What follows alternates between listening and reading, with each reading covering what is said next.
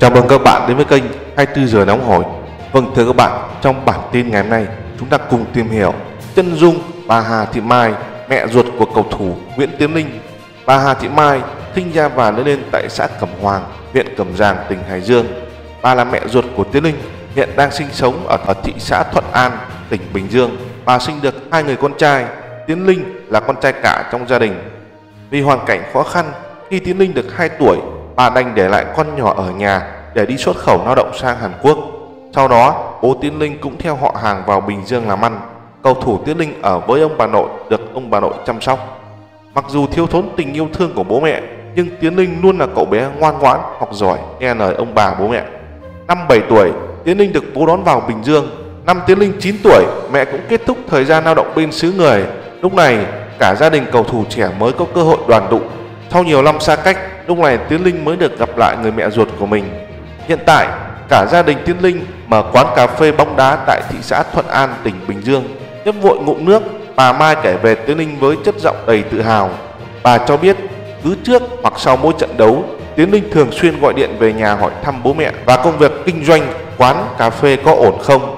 Cũng theo bà Mai, do công việc kinh doanh quán cà phê của gia đình khá bận rộn, nên mỗi khi có trận đấu của đội tuyển Việt Nam, bố mẹ Tiến Linh không thể xem trọn vẹn cả trận mà phải bận bán hàng. Chỉ khi kết thúc hiệp 1 mới có thời gian thảnh thơi để theo dõi con trai thi đấu. Tiến Linh từng chia sẻ khi mới chuyển vào sinh sống tại Bình Dương, anh rất cô đơn, không có bạn bè, mỗi ngày chỉ từ nhà đến trường. Trong những lúc đó, cậu nhóc 7 tuổi lúc nào cũng nhớ mẹ. Niềm an ủi duy nhất chỉ là những tấm hình gia đình đã cũ. Cậu nhóc Tiến Linh từng muốn bỏ về Hải Dương vì quá nhớ nhà và nhớ mẹ.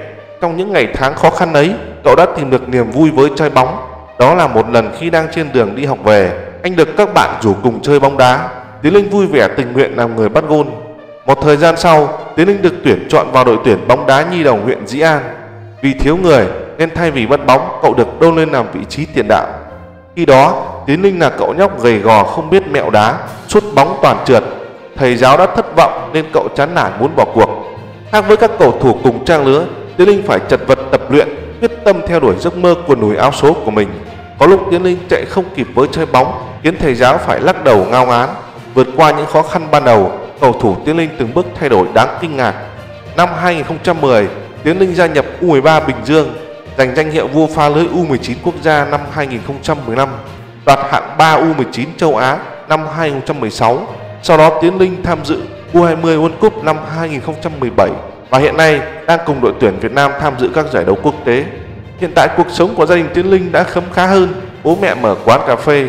Trước đây, Tiến Linh từng hẹn hò với cô giáo dạy múa quê Nghệ An hơn anh 2 tuổi, nhưng sau một thời gian ngắn, cặp đôi xác nhận chia tay, giữ mối quan hệ bạn bè.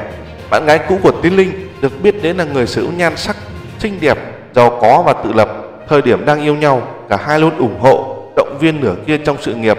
Việc cặp đôi đường ai nấy đi gây không ít tiếc nuối cho người hâm mộ.